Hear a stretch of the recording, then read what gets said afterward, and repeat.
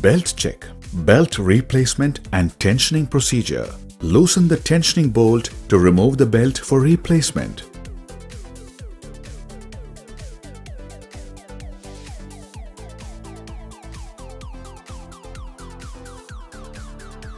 Replace the belts and tighten the tensioning bolt to have an approximate tension in the belts.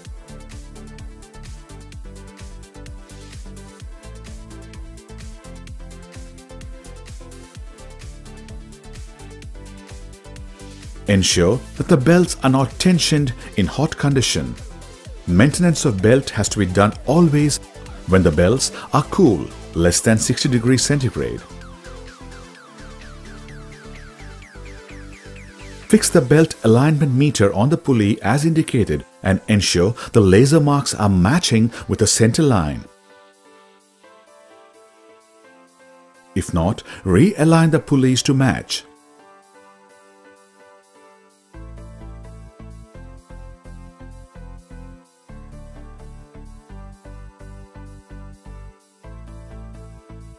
Wrong mounting of the belt tension meter.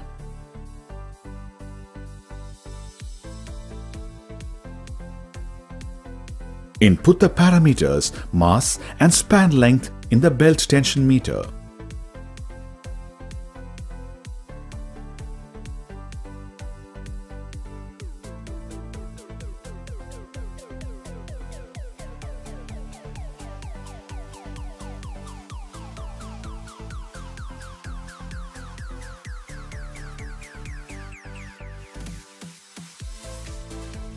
Check the belt tension meter at the four different points of equal spacing and get the average value.